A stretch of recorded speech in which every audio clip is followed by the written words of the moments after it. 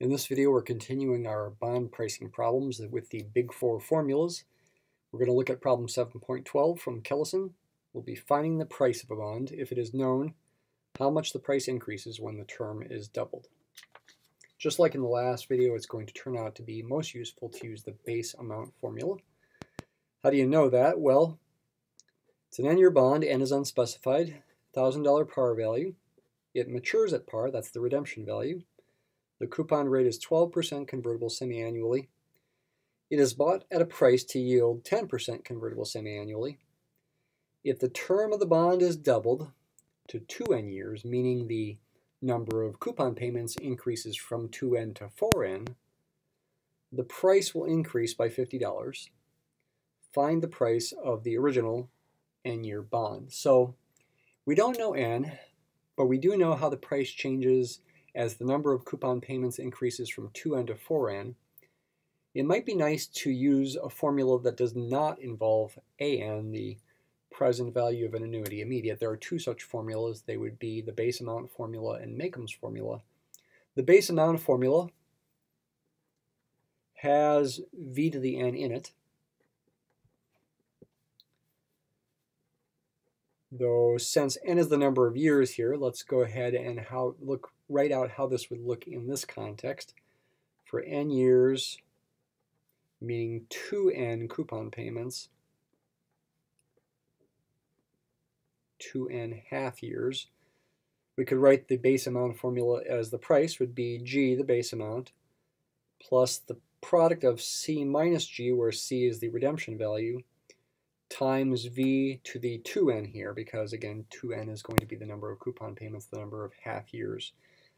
The coupon rate is 6% per half year, and the yield is going to be 5% per half year. I want to use 2n in this case. It involves g, the base amount, where g times j, the semi-annual yield rate, is equal to f times r, the face value or par value, which is 1,000 times the semi-annual coupon rate. I can solve this for G. I can plug in the numbers. F is $1,000, R is 0.06, J is 0.05. This will simplify to $1,200 for the base amount. We know C as well, that's 1,000, since it's maturing at par. We can pretty easily use this formula, and maybe use the fact that we've got the two bonds here to use the formula again for the second bond and ultimately perhaps solve for v to the 2n to help us finish the problem.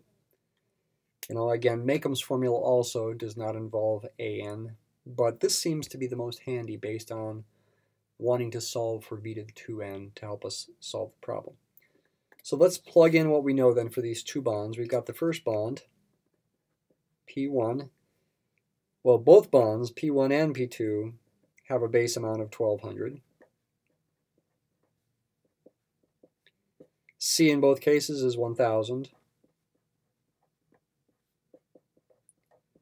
The difference is, with the first bond, the original bond, we have n years, so 2n periods, and we have a v to the 2n here.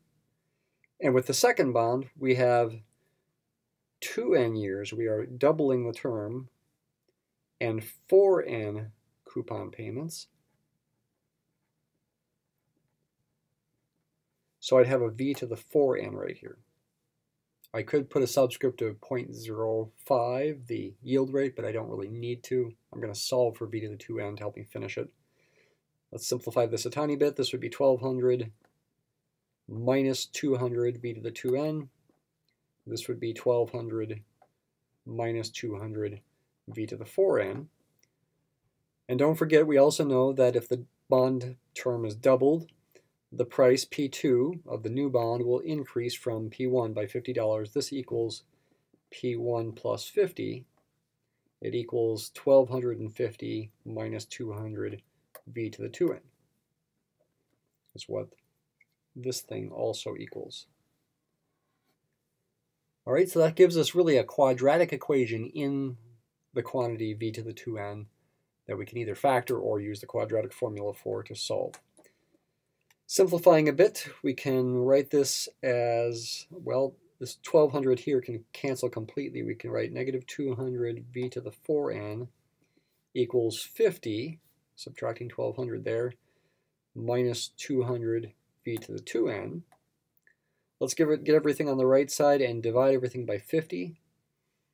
Uh, this 200 divided by 50 is going to be 4. We'll have a 4 v to the 4n minus 4 v to the 2n, and then 50 divided by 50 is plus 1. You could use the quadratic formula, but this is pretty easily factorable. It's actually a perfect square. It's 2 times v to the 2n minus 1 quantity squared. Some people can see that quickly, and some people have trouble seeing that quickly. If you have trouble seeing that quickly, then just go ahead and default to the quadratic formula. v to the 2n ultimately must be 1 half. And now we can pretty quickly solve the problem. We want to find the price of the original bond. We want to find P1. So substitute that back up into here. P1 will be 1200 minus 200 times 1 half, 1200 minus 100, $1,100 is the price of the original bond that is answering the question, finding the price of the n-year bond. So again, I hope it's pretty clear in looking this over that um, the base amount formula is probably the best way to go. You could try the other formulas and see that you get the same thing, and probably they are not quite as quick.